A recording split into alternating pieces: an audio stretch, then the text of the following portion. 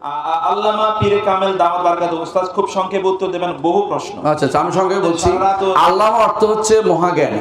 মহাজ্ঞানী আসলে এভাবে বলা ঠিক না কাউকে। তা এটা গালাবা বলে তাও মানে ব্যক্তি বোঝানো তাকসির বোঝায়। ব্যক্তি বোঝানো এত বড় আল্লামা কে হইতে পারে? নিজের নামের আগে নিজে আল্লামা না লাগলে খুশি হয় না অনেকেই।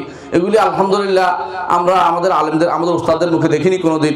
আমাদের শেখরা শুধু লিখতো আবদুল্লাহ ইবনে গুনাই আবদুল্লাহ আল গুনাইমান অর্থাৎ নাম আবদুল্লাহ গুনাইমান তার বংশ বসে একটু শেষ হইতো আবদুল্লাহ ইবনে মোহাম্মদ লিখতো তারা বাপের না। হাম্মাদ আল আনসারি লিখতো আর কিছু লিখতো না। কারণ এটা তো বুঝে দেয় এটা আমার নাম নিজে বড় করে তিন চার লাইন লেখাটা অন্যায়। যারা এইভাবে লিখছে তাদের উচিত হচ্ছে তাদের ছাত্রদের নিষেধ করে দেয়। আল্লাহর রাস্তে তোরা বাড়াইস না। আমার এলএম প্রকাশ পাবে ছাত্রের মাধ্যমে।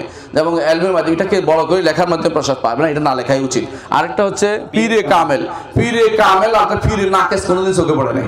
সব পীরে কামেল। সবাই পীরে কামেল। সবাই পীরে কামেল কোনোদিন পীরে নাকেশ নাই। পীর অর্থ হচ্ছে যিনি বৃদ্ধ এক অর্থ হচ্ছে বৃদ্ধ মুরব্বী। আরেক অর্থ হচ্ছে যিনি এখন আমাদের দেশে প্রচলিত হচ্ছে যিনি অন্তরের চিকিৎসা করেন। তারা বলে আর কি এটা? এরা অন্তরের চিকিৎসা করেন বলে এটা কিন্তু এটা কোনো অর্থ না আসলে। পীর পার্সি শব্দ। এটা কোরআন হাদিসের কোনো শব্দ না এবং এটার কোনো প্রতিশব্দ আরবিতেও নাই। এর অর্থ হচ্ছে এর অর্থ হচ্ছে এই জাতীয় জিনিসগুলি বিভ্রান্তি ও বানোয়ার কারণ ইসলামে আসলে সুফিবাদী কোনো নিয়মের কোনো ইসলামের অস্তিত্ব রাখে নাই কোরআন কারণ হাদিসে আসে নাই। ইসলামে যেটা আসছে এটা হলো জুহুদ তাকোয়া এগুলি আসছে। জুহুদ এবং তাকোয়া এগুলির সাথে পীর পীরবাদীদের কোনো সম্পর্ক নাই। পীর সাহেবদের এগুলি সম্পূর্ণ বানোয়ার এগুলো থেকে দূরে থাকি। আসলে দাবা দাবা। দাবা শব্দের অর্থ হচ্ছে ওনারা বলেন দামাত বারাকাতুহুম। তাদের বরকত যেন সবসময় চলে। বরকত কার কাছে ভাই? আল্লাহর কাছে। তো বরকত তিনি যাতে দিয়েছেন সেটা চলুক। বলেন তাদের এলমের বরকত যেন আমরা পাই। এলমের বরকত সেটা বুঝতে পারলাম কিন্তু ব্যক্তির বরকত কেমনে হয়? ব্যক্তি সত্তার সত্তার বরকত হচ্ছে মোহাম্মদ রসুল্লাহ সাল্লাহ ইসলাম তার ব্যক্তি সত্তার বরকত আছে। কিন্তু এর বাইরে আপনার আমার কোথায় বরকত আসলো?